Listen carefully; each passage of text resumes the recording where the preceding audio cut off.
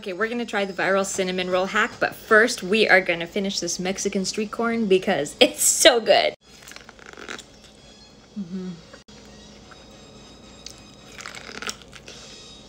We had corn on sale and it was the best corn. So I was craving Mexican street corn. So I just used whatever ingredients we have on hand. We had Miracle Whip, so I used Miracle Whip, like a thin, thin coating instead of mayo or sour cream. And then Tajín, and then um, I like feta instead of queso fresco. It's just the saltiness I really love.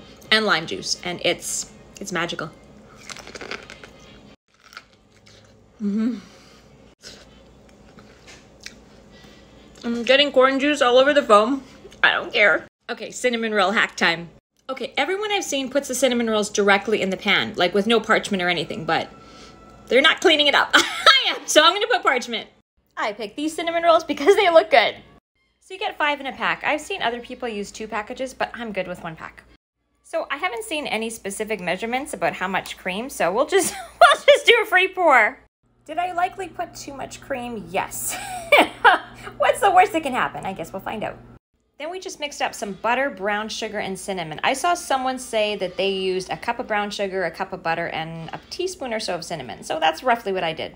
I poured that delicious melted butter, brown sugar, cinnamon mixture over the cinnamon buns, and I am just now realizing that proportion was for two packages of cinnamon rolls. So these, these are gonna be some cinnamon rolls. Well, they're in the oven at 350 for about 30 minutes, and honestly, I'm pretty sure they're gonna be amazing. You can't really screw them up. They're pre-made cinnamon rolls. We're gonna work at making this icing go a little farther. I saw someone extend their icing by adding a little more icing sugar, a little milk or cream, and some vanilla. So that's what we're doing. They also added butter, but I'm not a big fan of either butter or cream cheese in my cinnamon roll cinnamon roll icing. I ended up uncovering the cinnamon rolls and cooking them a little bit longer, about 20 minutes longer. Look how big they are. Now we're gonna slather them with that icing. I always say icing. Like, I don't know if it's a Canadian thing, because I know people say frosting too. I say both, I think. Maybe I don't always say icing then. you know, I don't know why I never thought of extending the icing myself before. That's a genius idea, because they never give you enough icing in the package.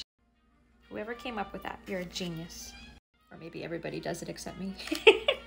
okay, they are looking so beautiful. Let's give them a try. They look so good. Ready? Hold the phone. Those are amazing.